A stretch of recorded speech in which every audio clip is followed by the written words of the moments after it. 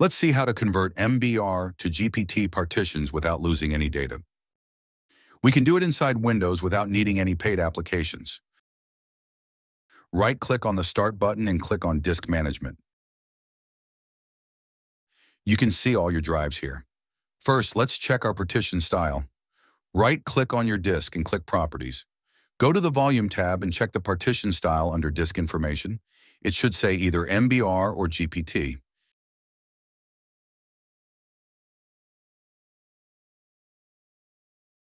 If you check Microsoft's website for MBR2GPT.exe, you'll see it's an executable file built into Windows 11 that allows you to convert MBR to GPT without deleting any of your data.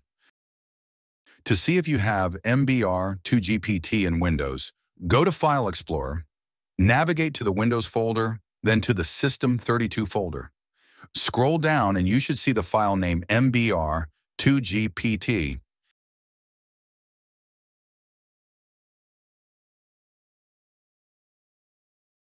Now let's convert our disk to GPT. From the Start menu, start CMD and run it as administrator.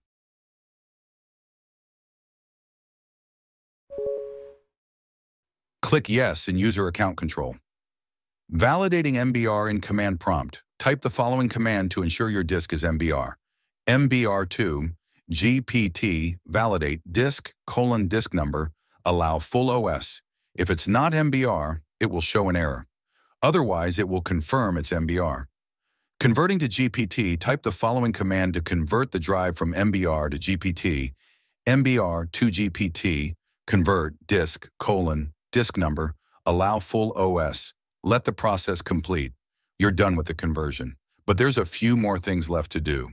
Before booting into the system, switch the firmware settings to UEFI mode. In BIOS boot settings, ensure boot mode selection is set to UEFI.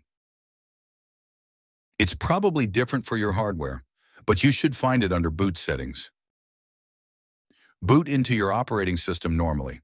Check that all your files are intact and the drive is successfully converted to GPT without data loss. Hiding System Reserved Drive. You might notice a new drive called System Reserved. Go back to disk management, change the drive letter or paths, and remove the drive letter to hide it. Right-click on the drive that you want to hide. Select Change Drive Letter and Paths, click Remove, then Yes to confirm. Check to verify, and you've successfully hidden the system reserved drive. To check if the GPT conversion was successful, go to Properties and Volume to verify the partition type is GPT. Go to Properties, then Volume. Check here, it says GPT partition. That's how you convert an MBR partition to GPT using the built-in application in Windows 11 without losing any data.